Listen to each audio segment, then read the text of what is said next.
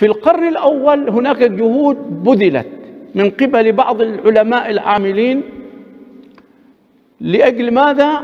لأجل جمع وتدوين السنة للمحافظة عليها لحفظ السنة النبوية يعني استشعروا هذا الواجب وتنبهوا لما يجب عليهم وتفطنوا لهذا الأمر فبذلوا جهودا مشكورة ومقدرة في جمع وتدوين السنة النبي صلى الله عليه وسلم. وعلى رأس هؤلاء الإمام الكبير التابعي الكبير الثقة الإمام جابر بن زيد رحمه الله تعالى. هذا في القرن الأول لأن توفي الإمام جابر على أرجح الأقوال سنة 93 للهجرة.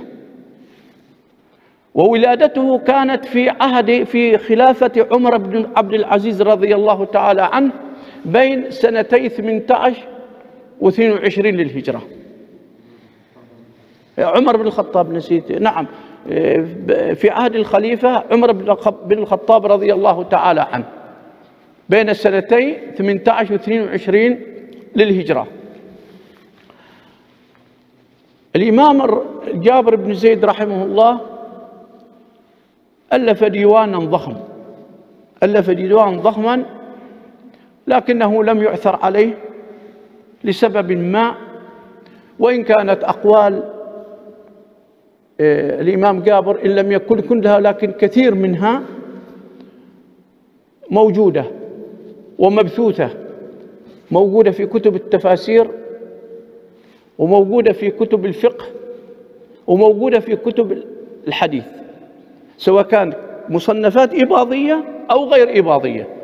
أقوال الإمام جابر موجودة في كتب المسلمين عامة سواء كانت التفسير منها أو الحديث منها أو الفقه.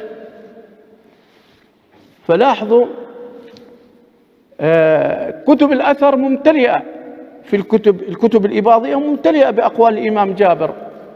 وهناك أيضا في العصر الحديث بذلت بعض الجهود لجمع هذه الأقوال في كتب منها ما قام به الشيخ سعيد بن خلفاء بن خلف الخروصي رحمه الله حيث جمع بعض آه، أقوال الفقهية للإمام جابر وكذلك الشيخ يحيى آه، محمد بكوش.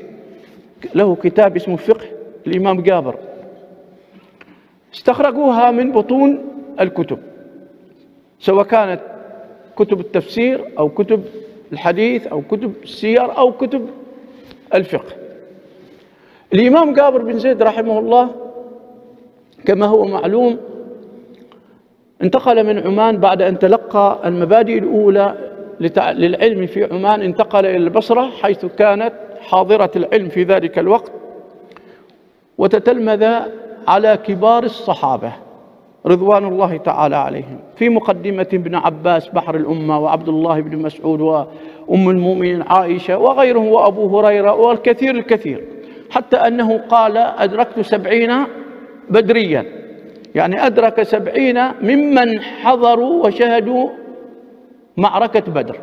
هذا يقصد بالبدريين. سبعين بدريا. وهذا دليل على الكثرة. قال أدركت سبعين بدريا فحويت ما عندهم إلا البحر والبحر يقصد به ابن عباس عبد الله بن عباس. هل الاستثناء هنا منقطع أو متصل؟ بمعنى إلا البحر؟ يعني هل البحر من ضمن السبعين؟ لأنه البحر لم يكن بدريا. فإذا هذا يسمى استثناء منقطع. ابن بحر ابن يعني بحر الأمة اللي هو عبد عبد الله بن عباس ما شهد معركة بدر. فهو حوى الإمام جابر ما عند السبعين البدري إلا البحر يعني إلا البحر ليس من البدريين. أو حوى علم السبعين إلا علم البحر. وعلى أي حال هذا تحدثا بنعمة الله تبارك وتعالى. فمن أخص شيوخه وأكبر شيوخه وفي مقدمة شيوخه وكثير ما يروي عنه ابن عباس رضي الله تعالى عنه.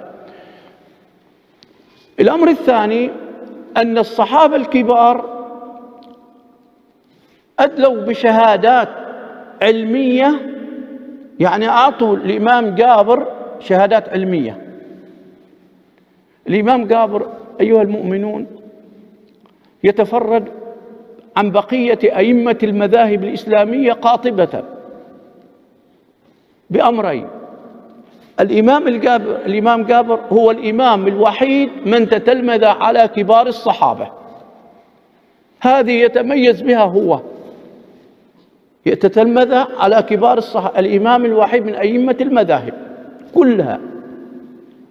والأمر الثاني الإمام الوحيد من أئمة المذاهب من نال شهادات كبار الصحابة على غزارة علمه ورسوخ قدمه في الفقه وفي الشريعة.